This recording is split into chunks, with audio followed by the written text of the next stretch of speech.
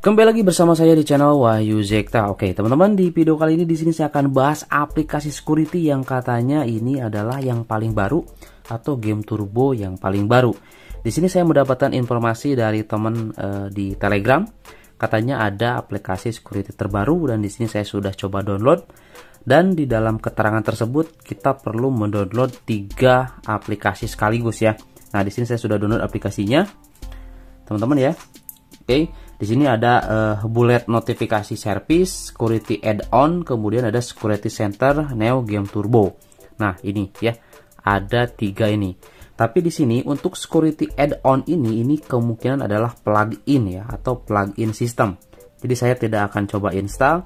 Kemudian untuk bullet notification service ini semacam kayak uh, plugin service ya. Seperti itu. Saya juga gak bakalan install. Di sini saya akan coba install langsung aplikasi security-nya. Oke, bagaimana kita coba lihat ada perubahan apa saja di aplikasi yang katanya ini adalah versi terbaru. Padahal di sini saya eh, sudah menggunakan versi yang paling baru, teman-teman ya. Nah, ini ini versi security 6.1 ya. Ini keluaran eh, di bulan Februari ini tanggal 18 2022. Nah saya di Poco X3 Pro ini saya menggunakan versi security yang ini.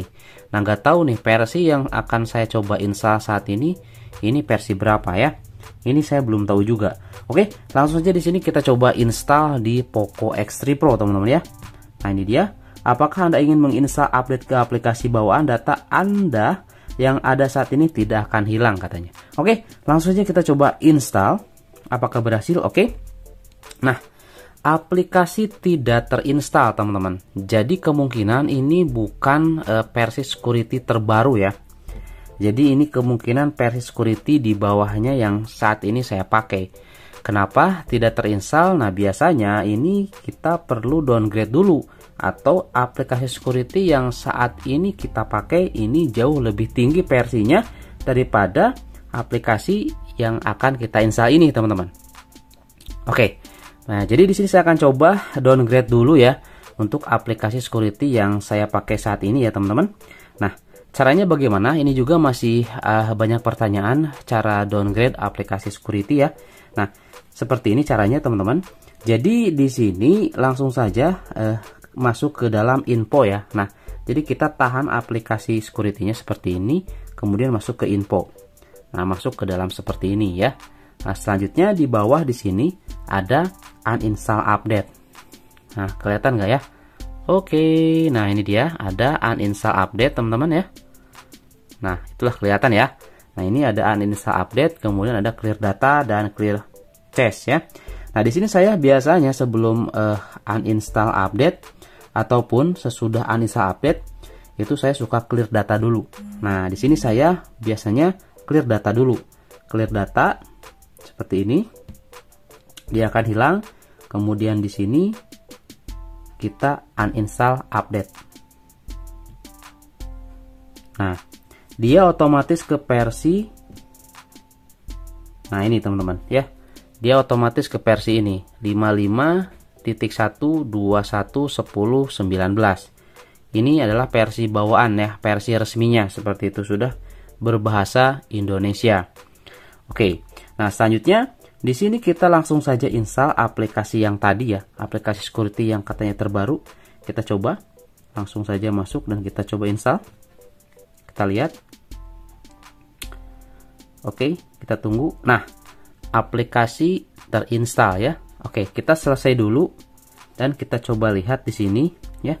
Aplikasinya sudah berubah lagi namanya. Di sini berubah menjadi security ya. Nah, otomatis ini adalah versi global biasanya kalau namanya bukan keamanan. Kalau keamanan itu berarti sudah support dengan bahasa Indonesia. Oke, langsung saja di sini kita coba lihat ya. Masuk dulu ke info. Oke, nah ini dia teman-teman. Jadi aplikasinya ini adalah versi 6.0.0220113. Nah, jadi ini lebih baru di daripada yang punya si Redmi Note 10 Pro saya, teman-teman. Nah, Redmi Note 10 Pro saya itu adalah resmi uh, MIUI bawaan uh, MIUI 13 itu kan. Aplikasi security bawaannya resminya itu di versi 6.0.0220110 ini 0113 dan di sini 0.2. Seperti itu teman-teman ya. Nah, ya, kita akan coba lihat nih aplikasi security ini apakah bagus atau tidak ya. Oke, langsung saja di sini kita masuk ke dalam aplikasinya. Kita coba lihat.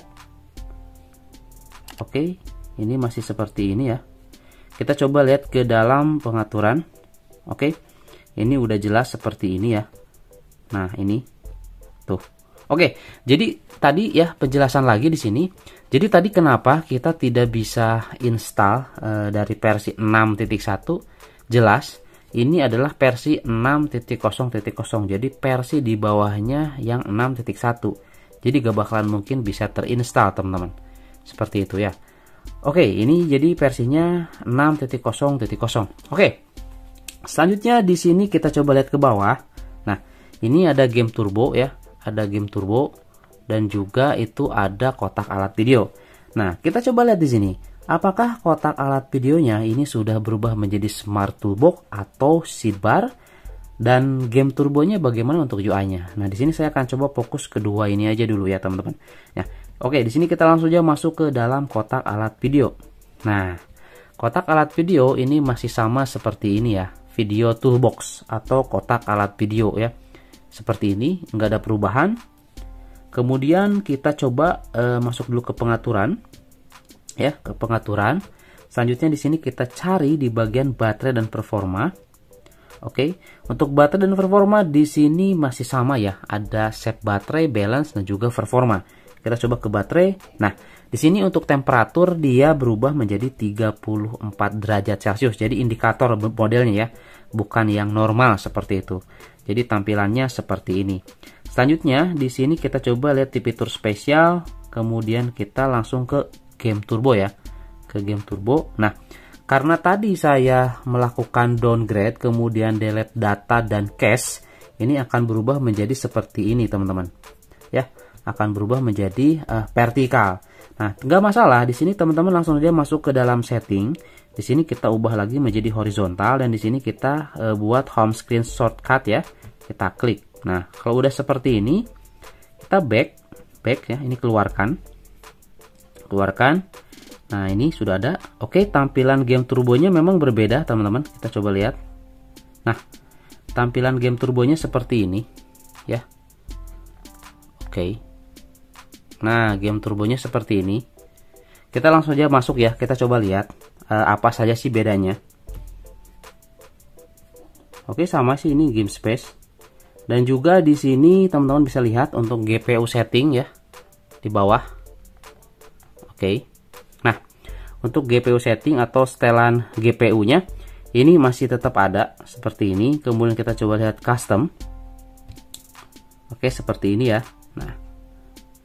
Oke, dan perlu teman-teman ketahui karena di sini uh, untuk si aplikasi Joyose-nya saya sudah aktifkan kembali. Jadi ini kita bisa setting ya, teman-teman. Kita bisa atur. Nah, di sini saya sudah aktifkan kembali untuk aplikasi Joyose-nya ya. Karena ada juga permintaan teman-teman di sini, Bang, bagaimana cara mengaktifkannya. Nah, kalau misalkan uh, ingin dinonaktifkan lagi atau hapus bisa dengan cara seperti yang sudah saya jelaskan di video sebelumnya atau di channel Wahyu Zekta tutorial teman-teman ya. Seperti itu. Oke, nah jadi di sini sudah aktif kembali ya untuk Joyose-nya. Seperti ini. Nah, kita coba lihat di Genshin Impact saja teman-teman di sini. Kita coba tes di Genshin Impact ya. Ini saya menggunakan setelan 720p dan settingannya seperti ini. Saya aktifkan dan ini seimbang. Oke, seperti ini dan kita coba masuk ke dalam gamenya ya. Kita kita lihat UI-nya ada perubahan atau tidak untuk UI dari game turbonya teman-teman. Oke, kita coba lihat. Hmm. Ini dia. Jadi seperti ini teman-teman ya. Security terus berhenti. Oke, ya. Ini ketika kita coba masuk ke dalam game, ini malah nggak bisa. Ada tuh ada tulisan seperti ini. Oke, kita coba batal dulu. Nah, dia nggak bisa aktif. Tuh. Ya. Dia nggak bisa nggak keluar teman-teman di sini. Oke, ini ada masalah berarti ya untuk uh, game turbonya. Seperti itu. Oke, di sini kita keluar dulu lagi. Nah, kita cari dulu di sini masalahnya apa. Ini di Genshin Impact nggak bisa masuk. kita coba masuk ke dalam uh, PUBG ya kita coba masuk ke PUBG kita coba uh, masuk ke PUBG apakah sama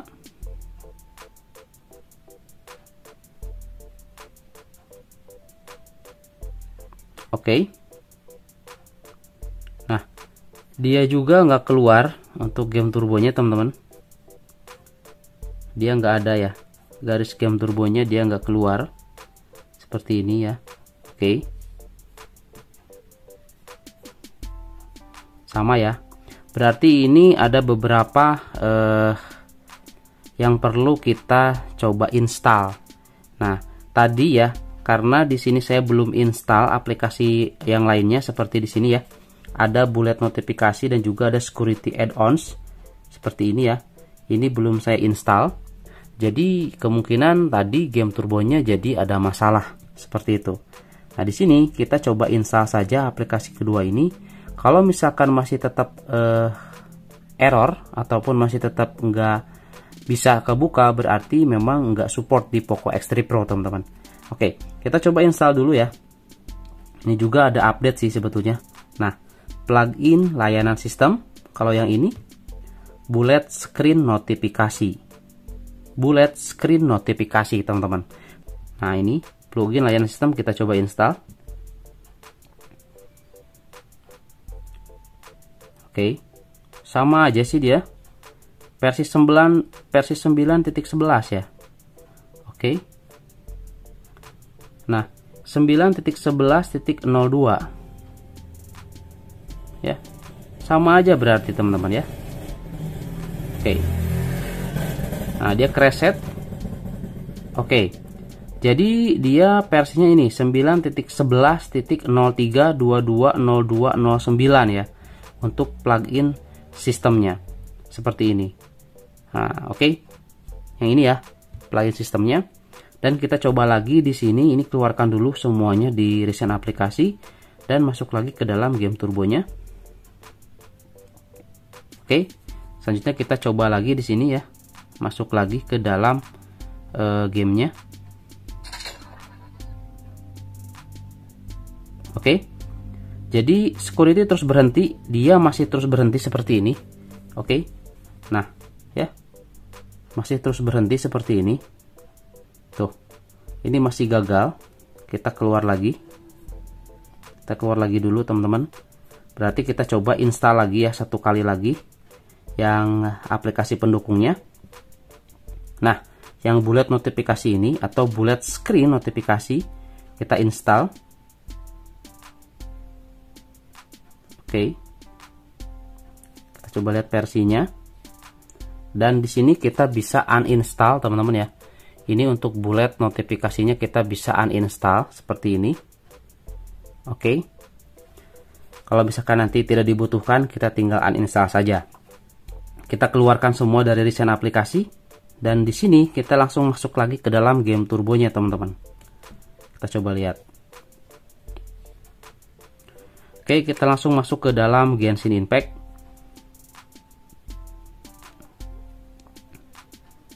Kita masuk.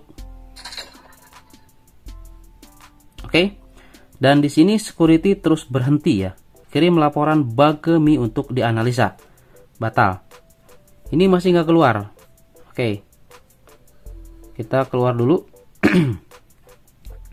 Kita keluar dulu ya. Ini untuk tampilan dari game turbonya sih udah oke okay ya. Sini udah seperti ini gitu. Cuma di sini memang kita nggak bisa masuk ke dalam game dan kita tidak bisa melihat UI dari game turbonya. Seperti itu teman-teman. Dan di sini e, permasalahannya masih belum tahu nih. Oke, um, kita coba di sini um, clear data dulu ya. Kita coba clear data dulu. Oke kita masuk lagi. Kemudian kita coba uh, sini kita masuk lagi ke dalam game turbo. Kemudian kita masuk setting ubah lagi menjadi horizontal screen uh, ini screen shortcutnya kita aktifkan. Oke ini kita masuk lagi ke dalam game turbonya. Kita coba tes lagi. Kita nggak bakal kita nggak coba dulu yang custom ya. Kita nggak coba dulu yang custom di sini. Kita coba dulu pakai yang uh, seimbang saja ya. Di sini untuk Genshin Impact ya. Kita coba yang seimbang apakah bisa atau tidak nih? Coba lihat. Sama ya? Oke. Ini masih sama seperti ini. Terus berhenti ya. Jadi nggak support di sini teman-teman. Untuk di uh, Poco X3 Pro ya. Untuk game turbonya. Dia nggak muncul seperti ini. Oke. Jadi seperti itu teman-teman. Ya sayang sekali untuk versi ini di Poco X3 Pro ini nggak bisa ya sudah kita coba install juga ketiganya itu tetap dia nggak bisa e, masuk ke dalam game turbo atau kita tidak bisa melihat UI-nya yang sebelumnya itu seperti ini ya tadi kan berbeda tuh tampilan dari e, game turbonya sekarang kita coba lagi masuk ya ke dalam game turbo. Seperti ini. Oke, dan kita coba masuk ke dalam gamenya. Nah, oke, untuk menggunakan versi bawaan di sini dia muncul. Ini versi bawaannya seperti ini ya. Untuk UI-nya. Nah, seperti ini. Untuk dari UI e, game turbonya. Sayang sekali tadi ya untuk di game turbo yang katanya versi terbaru atau versi 6.0.0 13 itu nggak support atau nggak bisa aktif. Sayang sekali. Jadi saya simpulkan teman-teman ya, aplikasi security terbaru tadi yang memang sih ya di sini untuk logo dari game turbonya itu udah berubah. Udah berbeda nggak seperti ini nih logonya tuh. Tadi keren banget logonya teman-teman. Cuman sayangnya di Poco X3 Pro saya coba tes ini nggak bisa ya. Kemungkinan di HP lain juga ini nggak bisa, nggak bisa ke install gitu. Ya. Nah, jadi kalau menurut saya lebih baik menggunakan aplikasi security yang seperti biasa yang saya informasikan ya. Kalau uh, security terbaru ini kemungkinan ini masih dalam uji coba teman-teman. Dan memang ini bekerja dengan cara root ya. Seperti itu. Nah, jadi kalau menurut saya ya sekali lagi lebih baik menggunakan aplikasi security yang udah stabil dan bisa dipakai di HP yang tidak root. Karena ya udah teman-teman lihat sendiri ya, setiap kali saya bahas itu suka ada perbedaan atau juga ada perubahan yang lumayan signifikan ke dalam pada saat kita coba tes gaming di performanya. Seperti itu teman-teman. Oke, jadi itu ya teman-teman ya untuk di video kali ini terkait coba tes uh, install aplikasi security terbaru yang ini ya. Ini dari web ya, dari Telegram juga informasinya. Dan ternyata nggak bisa terpasang atau tidak bisa bisa bisa terpasang, bisa jalan. Tadi versinya sudah kelihatan versi 6.0.0 titik yang uh, keluaran tanggal 13 bulan Januari kemarin ya.